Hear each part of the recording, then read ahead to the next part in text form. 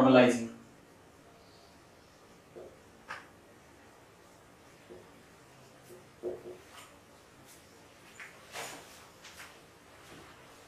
Normalising में अगर हम बेसिक रूल देखें तो बेसिक रूल सेम रहेगा पहले हीट करना है then soak then cool the difference is that soaking time is less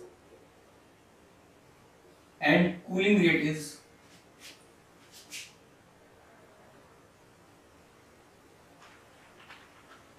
faster. It's not very fast. It's just faster okay? Uh, we can say it's faster than annealing and soaking time is very less. But uh, now we will see that heating uh, temperature range for uh, normalizing okay? So heating temperature range for normalizing is somewhat here.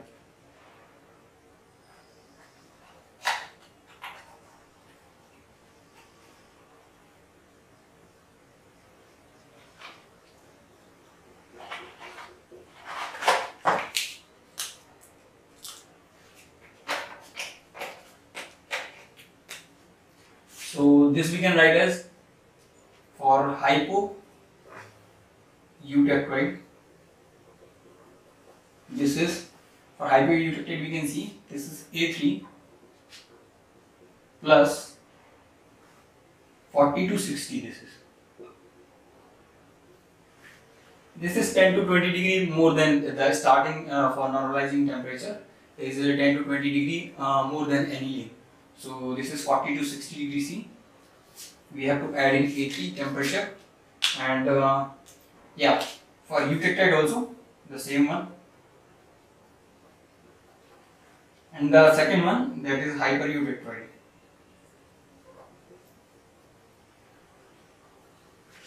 Uh, this is uh, ACM plus uh, 30 to 50 degrees Celsius. Okay. So this is the heating range. So this is the law for uh, how we can do normalizing. And now what is uh, the result of this is that uh, cooling rate is somewhat faster and uh, we are heating 10 to 20 degree more than uh, what we were heating in uh, annually. So the reason is uh, um, we give time हम time देते हैं material को ऑस्टिनेटिक face को stable होने के लिए उसको 40 to 60 degree ऊपर लेके जा रहे हैं ताकि वो ऑस्टिनेट वहाँ पे स्टेबल हो जाए और सेकंड थिंग ये है कि इतने ऊपर ले जाने का कि यहाँ से जब हम कूल करेंगे तो डिग्री ऑफ़ सुपर कूल ज़्यादा होगा, क्योंकि टेम्परेचर डिफरेंस बढ़ेगा तो डिग्री ऑफ़ सुपर कूल ज़्यादा होगा।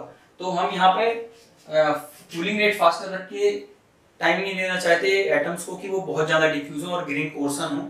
एक रीजन वो है। दूसरा सोकिंग टाइम लेस रखने का रीजन भी सेम है, कि अगर सोकिंग टाइम बहुत ज़्यादा रखेंगे तो ग्रेन उस पर्टिकुलर टेम्परेचर पे कोर्स होना चालू हो जाएँगे और हमको कोर्स स्ट्रक्चर मिलेगा। बट नॉर्मलाइजिंग में हमारा एम होता है फाइन स्ट्रक्चर अचीव करना है। So that's why cooling rate भी फास्टर रखना है और सोकिंग टाइम भी लेस रखना है ताकि डिफ्यूजन लेस हो। इसके अलावा हीट ये जो टेम्परेचर है, ये एनिलिंग से थोड़ा ज़्यादा रखना है ताकि ऑस्टेटिक फेस वहाँ पे स्टेबल हो जाए और होमोजेनाइज हो जाए और उसके बाद जो है डिग्री ऑफ़ सुपरकूल बढ़ जाए। ये रीजन होता है इसका और इससे हमको मिलता है फाइन परलाइट ओके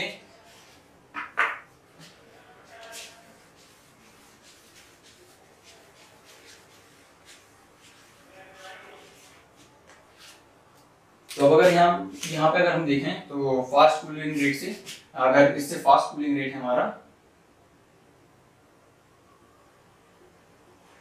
तो हमें फाइन परलाइट मिलेगा। ठीक है? अब इसमें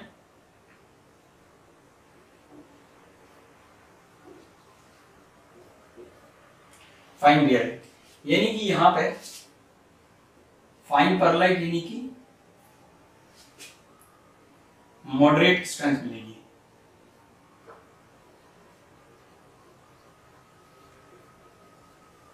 ओके मॉडरेट डक्टिलिटी मिली हुई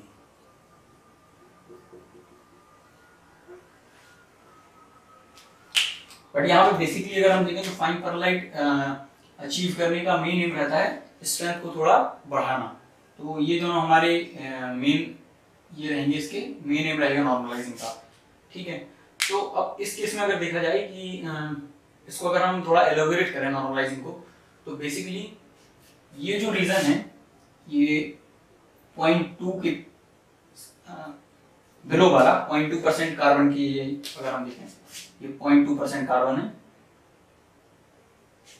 इससे लेफ़्ट वाला जो रीजन है होता है लो कार्बन स्टील का, ठीक है? अब लो कार्बन स्टील में कार्बन कंटेंट कम होने की वजह से स्ट्रेंथ होती है कम, उसकी स्ट्रेंथ रहेगी कम। तो उसकी अगर हमको स्ट्रेंथ बढ़ानी है, ठीक है तो हम दो चीज़ों से कर सकते हैं। या तो हम उसकी अलॉइंग कर दें तो अलॉय करने पे थोड़ा उसकी स्ट्रेंथ बढ़ सकती है। और दूसरी चीज़ है अलॉइंग के अलावा हम उसका प्लास्टिक डिफॉर्मेशन कर सकते हैं उससे स्ट्रेनिंग कर सकते हैं। तो स्ट्रेन हार्डनिंग करके हम उसकी स्ट्रेंथ बढ़ा सकते हैं। और जो थर्ड है, वो है कि हम उसका नॉर्मलाइजिंग कर लें और उसकी ग्रेन्स को फाइन कर दें। उससे हम उसकी स्ट्रेंथ बढ़ा सकते हैं, ठीक है? क्योंकि यदि स्ट्रेंथ कम रहेगी और लो कार्बन में ये भी है कि स्ट्रेंथ कम होने की वजह से हम उसको इजीली मशीन नहीं कर सकते, क्योंकि मशीन करते समय प्लास्टिकली डिफॉर्म होगा तो इजीली चिप फॉर्मेशन नहीं होगा। तो नॉर्मलाइजिंग करके हम फाइन ग्रेन करेंगे, उसकी स्ट्रेंथ बढ़ाएँगे तो वो इजीली मशीनेबल भी हो जा सकता है। तो इससे हम अगर इसका फ़ायदा देखें एडवांटेजेस देखें तो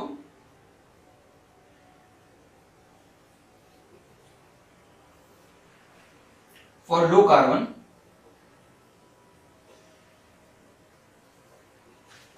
Low carbon के लिए मशीनेबिलिटी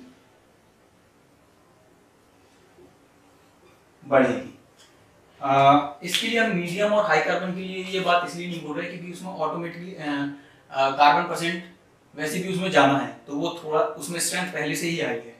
तो उसकी मशीनेबिलिटी बढ़ाने की हम बात नहीं करेंगे कि नॉर्मलाइजिंग उसकी मशीनेबिलिटी बढ़ाता है।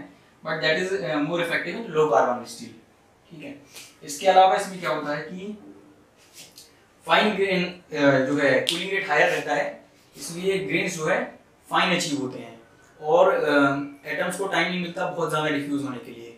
ओके न्यूक्लिएशन साइमल्टेनियसली होता है। दैट्स वाई इसमें अगर हम देखें तो यूनिफॉर्मिटी जाना रहती है ग्रेन्स में। यूनिफॉर्म ग्रेन्स मिलते हैं। ठीक है? ये दूसरी चीज़ हो गई। थर्ड इज़ कि अगर आपने किसी मटेरियल का आ, उसको कोई शेप देने के लिए उसको हॉट वर्क किया हुआ था तो हॉट वर्क करते समय क्या होता है? टेम्परेचर हाई रहता है। तो हो सकता है कि आपके ग्रेन कोर्सर हो जाए एनीलिंग की वजह से। अगर आपने बहुत देर तक हॉट वर्क किया हुआ है तो उसको ज़्यादा देर तक हॉट वर्क करोगे तो वो ज़्यादा टाइम तक हाई टेम्परेचर पर रहेगा तो ग्रेन कोर्सन हो सकते हैं। तो अगर वो कोर्सन ग्रेन को आपको वापस से ठीक करना है, आपको उस मटेरियल को वापस से ठीक करना है तो इसको हम आफ्टर हॉट वर्किंग इसको हम नॉर्मलाइज कर सकते हैं। तो हम बोलेंगे इसको after hot work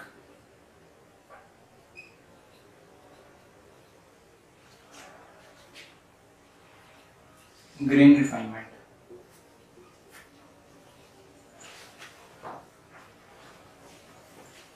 ठीक है?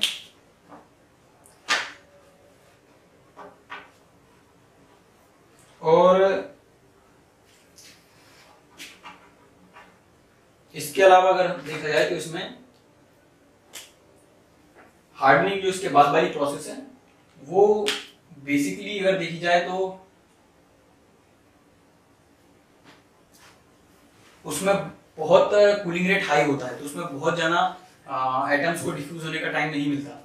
तो अगर एटम्स को डिफ्यूज होने का टाइम नहीं मिलता तो वो नॉन यूनिफॉर्म स्ट्रक्चर भी बना सकते हैं। तो हार्डनिंग करने से पहले, क्योंकि अगर हार्डनिंग करेंगे तो उसको टाइम नहीं मिलेगा। तो जो स्ट्रक्चर है एज इट इज़ अटेन होगा। अगर नॉन यूनिफॉर्म स्ट्रक्चर है तो नॉन यूनिफॉर्मिटी ही मेंटेन रहेगी आफ्टर द ट्रीटमेंट तो हार्डनिंग से पहले हम नॉर्मलाइजिंग कर सकते हैं, क्योंकि इसमें ऑस्टनाइट को हम होमोजेनाइज होने का टाइम देंगे, उसको स्टेबल होने का टाइम देंगे। तो ये एक इसमें होमोजेनाइजिंग ट्रीटमेंट ऑटोमेटिक होता है। तो अगर हम चाहें तो हार्डनिंग करने से पहले नॉर्मलाइजिंग कर सकते हैं, ताकि मटेरियल यूनिफॉर्म हो जाए। उसके बाद हार्डनिंग आप हार्डनिंग के लिए आप जाओ। तो वहाँ पे अगर आप उसको टाइम नहीं भी दोगे तो मटेरियल पहले से ही होमोजेनाइज है। तो वो आपको एक होमोजेनाइज स्ट्रक्चर ही देगा आफ्टर द हार्डनिंग ट्रीटमेंट तो हम इसको बोल सकते हैं प्री हार्डनिंग ट्रीटमेंट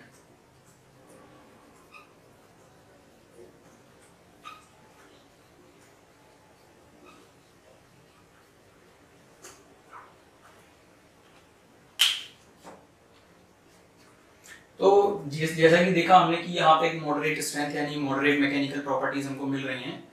तो for low carbon steel we can go for normalizing it will improve their mechanical properties और अगर हाई कार्बन की बात करें तो हाई कार्बन में बेसिकली नॉर्मलाइजिंग देखें तो प्री हार्डनिंग ट्रीटमेंट की तरह यूज़ किया जाता है ज़्यादातर।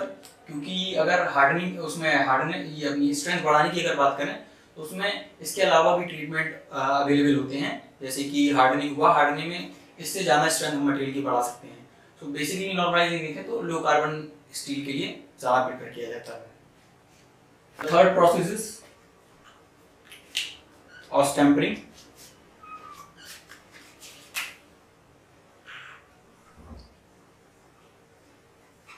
austempering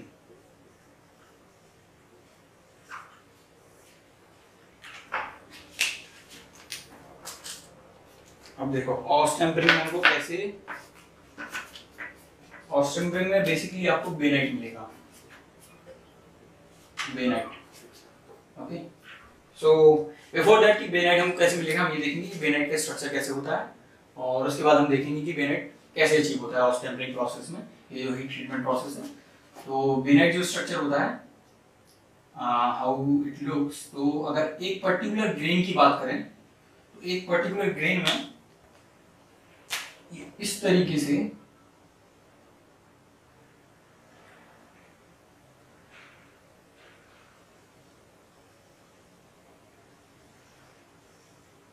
ये रहते हैं हमारे फेराइट के लेथ्स। फेराइट लेथ बोलते हैं इसको, ठीक है? और इसके, अगर हम इस पे देखें, एंड इस पे देखें इसके एंड्स पे छोटे छोटे से प्रेसिपिटेट आपको दिखेंगे।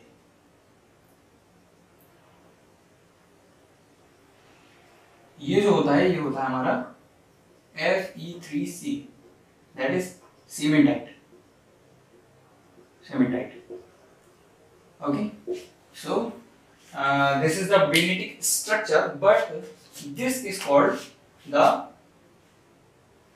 what we say is upper bainite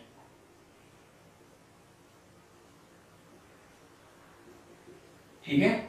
ये कौन सा होता है? अपर वेनाइट अपर वेनाइट यानी कि इज़ इज़ नथिंग बट आपको क्या करना है? ये जो टेम्परेचर रेंज है, चलिए वो हम आपको बाद में बता देंगे क्लियर कर देंगे कौन सी टेम्परेचर में आपको अपर वेनाइट मिलेगा। बट अपर वेनाइट का जो स्ट्रक्चर है वो इस तरीके का होगा। फेरेटिक लेथ होगा उसके एजेस पे आपको बोल सकते हैं या साइड पे आपको क्या मिलेगा? Fe3C सीमेंटाइट ऐसे प्रेसिपिटेट फॉर्म में इसके ऊपर दिखेगा, ठीक है? ये हो गया अपर बेनेट इसके बाद एक होता है बेनेट में लोअर बेनेट वो कैसा दिखता है? Lower bainite similar not much difference इसमें थोड़ा सा आपका लेंटिकुलर स्ट्रक्चर होगा। लेंटिकुलर फेराइट यानी कि in the shape of the lens so it will be kind of this thing it will be like this only ये होने लगता है, ठीक है? ये हो गया हमारा लेंटिकुलर स्ट्रक्चर इसमें जो ये है, ये हो गया हमारा फेराइट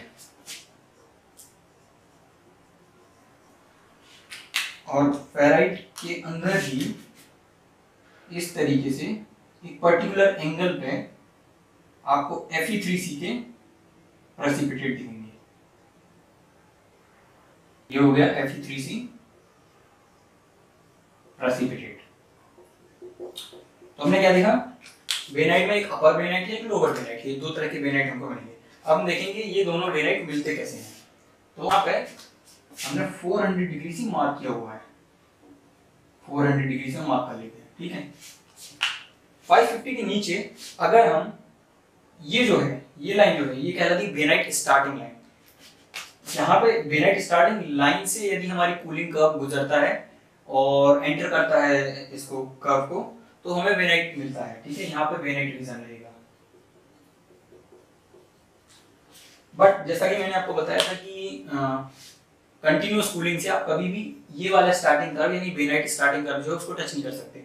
तो वेनाइट के केस में हमें क्या करना होता है? हमको क्वेंच करना होता है। क्वेंच यानी quench is nothing but that is where we have high cooling rate so हम अपना कूलिंग रेट हाई रखेंगे high cooling rate in case of Ostamine we keep our cooling rate higher. Higher uh, means how much higher? So that should be higher than uh, this much. ये जो cooling rate है जिससे कि हम इससे lower यदि cooling rate रखेंगे इससे लोअर इस साइड जाते हैं तो कूलिंग रेट लोअर होता है इस साइड जाते हैं तो हायर होता है। तो इससे अगर लोअर कूलिंग रेट रखेंगे तो ये पियरलिटिक रेंज में एंटर होने लगेगा। तो उससे हमको हायर रखना है। तो इस नोट से हायर रखना है हमको कूलिंग रेट ठीक है? तो cooling rate higher than this ठीक है? और फिर क्या करना है? फिर हमको 400 से 550 की रेंज में यदि हम अपना मीडियम मेंटेन रखते हैं जिसमें हम क्या करेंगे? आ, जो हमारा सैंपल है उसको इसके बीच में जो टेम्परेचर रेंज है वो जो मीडियम हमने मेंटेन करके रखा हुआ है यदि हमने उसमें जाके सैंपल को रख दिया ठीक है? एक कंडीशन ये है। और दूसरी यदि हमने 450 से वो 400 डिग्री सेल्सियस से नीचे और एम एस टेम्परेचर के ऊपर एम एस यानी मार्टेंसिटिक स्टार टेम्परेचर उससे ऊपर यदि कोई मीडियम मेंटेन है या फिर उसमें जाके रख दिया तो दो आ, हमारे पास चॉइसेस हैं। या तो हम इससे इसकी रेंज में रखें या एम एस से ऊपर और इसकी रेंज में रखें। इन पर्टिकुलर मीडियम में हमें जाके हमें जाके सैंपल को रख देना है एक हाई कूलिंग रेट पर अगर हम ऐसा करेंगे तो क्या होगा? यहाँ पे जाके रखा एक 400 से ऊपर और 550 के बीच। और एक सैंपल हमने जाके रखा यहाँ एम से ऊपर और 400 के बीच। और कूलिंग रेट ये हमने हायर फॉलो किया। यहाँ पे जाके फिर हमने उसको क्या किया? इन मीडियम में रख दिया। तो मीडियम में रखने के बाद हम उसको आइसोथर्मली ट्रांसफॉर्म होने का टाइम देंगे। तो जब आप उसको टाइम दोगे तो ये क्या करेगा? आइसोथर्मली बेनाइट कर को एंटर कर सकता है। तो ये इसको एंटर करेगा और ये बेनाइट फॉर्म करेगा। सिमिलरली ये भी इसको एंटर करेगा और ये बेनाइट फॉर्म करेगा। ठीक है? अब इस कंडीशन में आपको मिलेगा अपर बेनाइट और इस कंडीशन में आपको मिलेगा लोअर बेनाइट ठीक है? ये अपर बेनाइट और लोअर बेनाइट की कंडीशन है। Upper and this is lower ठीक है? और इस प्रोसेस को हम बोलेंगे ऑस टेम्परिंग जिसमें कि हमको कूलिंग रेट हाई रखना है और उसके बाद आइसोथर्मली ट्रांसफॉर्म होने देना है अपने मटेरियल को ताकि वो बेनाइट फॉर्म कर सके। ठीक है? बट जो हमको क्वेंच मीडियम है, जिसमें हम उसको क्वेंच किया है, वो हमको एम एस टेम्परेचर के तो ऊपर रखना ही है। उसके बाद डिपेंड करता है कि आप कौन सा बेनाइट चाहते हो उतना टेम्परेचर अपना मीडियम का मेंटेन करके रखना है। तो ये हमारी बेनाइट फॉर्मेशन की प्रोसेस है। इसके बाद बेनाइट में अगर आप देखो कि इसकी प्रॉपर्टीज़ क्या होंगी तो बेनाइट में बेसिकली हम बोल सकते हैं कि इसमें हाई स्ट्रेंथ होती है। इसको बेनाइट को बेसिकली कभी कभी हम वेरी फाइन परलाइट भी बोलते हैं तो बेसिक सी बात है कि परलाइट से स्ट्रेंथ उसकी ज़्यादा होगी तो उसकी स्ट्रेंथ हायर होती है ऑन हायर साइड और डक्टिलिटी बोल सकते हैं हम। हम मॉडरेट एक्चुअली इन कंपैरिजन बोल रहे हैं। हम ऐसे नहीं बोल सकते कि इसकी डक्टिलिटी मॉडरेट हो। We are seeing this ductility in comparison with other process इसको हम बेसिकली ऑस टेम्परिंग को बेसिकली हम कंपेयर करते हैं ज़्यादातर हार्डनिंग से। तो हार्डनिंग में जो डक्टिलिटी बहुत कम हो जाती है। डक्टिलिटी उस केस में ऑलमोस्ट नेग्लिजिबल होती है। उससे इसमें डक्टिलिटी बेटर होती है। इसलिए हम उसके कंपैरिजन में करते हैं तो डक्टिलिटी इसकी मॉडरेट है। स्ट्रेंथ इसकी हाई है। ठीक है? ये कंपेयर कर रहे हैं परलाइट से। परलाइट के केस में स्ट्रेंथ इससे कम रहेगी और इसमें उससे ज़्यादा रहेगी। तो ये कंपैरिजन हम स्ट्रेंथ का परलाइट से कर रहे हैं। तो हाई स्ट्रेंथ डक्टिलिटी ओके इसके अलावा इसमें हम दूसरा जो कंपैरेटिव प्रॉपर्टी है, वो है इसमें हमारा कि इसमें जो है रेसिडुअल स्ट्रेसेस अगर देखें तो। रेसिडुअल स्ट्रेसेस ड्यूरिंग प्रोसेस ये जो प्रोसेस हमने फॉलो की वेनाइट फॉर्मेशन की वेरी लेस बोल सकते हैं। रेसिडुअल स्ट्रेसेस वेरी लेस होते हैं। ये कंपेयर कर रहे हैं हम अगेन हार्डनिंग से क्योंकि हार्डनिंग में बहुत ज़्यादा रेसिडुअल स्ट्रेसेस जनरेट होते हैं। उसके कंपैरिजन में सर बहुत कम रेसिडुअल स्ट्रेस होते हैं। एंड द थर्ड हम जो कंपेयर करेंगे वो बोलेंगे इसमें इसमें क्रैक फॉर्मेशन नहीं होता। क्रैक फॉर्मेशन इसमें नहीं होता। आ, ये भी कंपेयर किया हमने हार्डनिंग के हार्डनिंग के केस में जो है हमारा मटेरियल उसमें क्रैक फॉर्मेशन होता है। इसमें क्रैक फॉर्मेशन नहीं होता ये हमारा एडवांटेज है। तो हम हार्डनिंग पढ़ेंगे तो उसके आ, आ, साथ में यदि कोई कंपैरिजन और से होगा तो वो हम वहाँ पे कर लेंगे। But this is the basic procedure we follow for austempering process to obtain bainite okay?